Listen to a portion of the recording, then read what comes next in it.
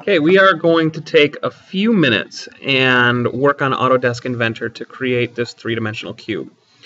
Autodesk Inventor is an amazingly complex and really cool program, but it can be a little bit intimidating at first. So we are just going to start with the bare basics. Uh, Autodesk Inventor allows you to create three-dimensional objects, like so. And in this video, for the next few minutes, we are going to create a three-dimensional cube that's three quarters of an inch uh, all the way around. So let's go ahead and minimize this. In order to start this, we have to start a new part. So in the upper left-hand corner, we click on uh, this drop-down menu, go to New, and go to Part. That brings up the screen right here. Now we have to create a 2D sketch. Click on that, and we're presented with a number of axes to choose from we are going to choose this, the x-axis, or the front view of the object. You can even see in the upper right-hand corner, it says front. In order to draw a cube, we're going to first start with a square. So we're going to click on the rectangle tool. And you can see that we have a cursor on the screen. Line this up with a point of origin. You can see that it goes green right there. Click. Now go up and to the right and you can see there's dimensions right there. We are going to enter 0.75, which is 3 quarters of an inch, then hit the tab screen.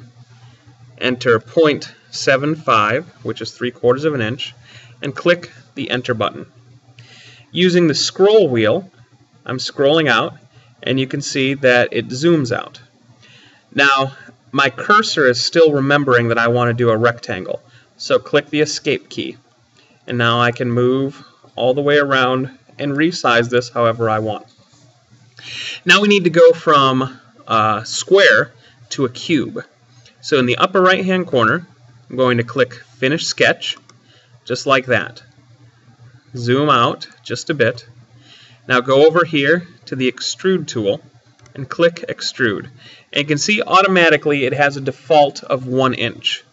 We don't want 1 inch, we want 0.1 7, 5, and hit the Enter key. Now we have a three-dimensional cube right here.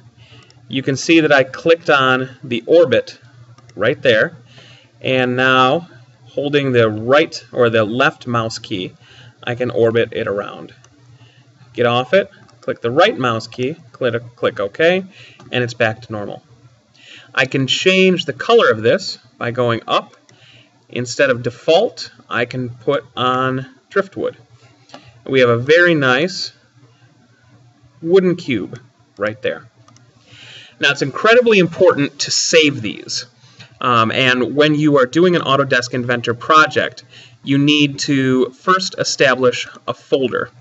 So on my desktop right here, I have a folder that says puzzle pieces right there.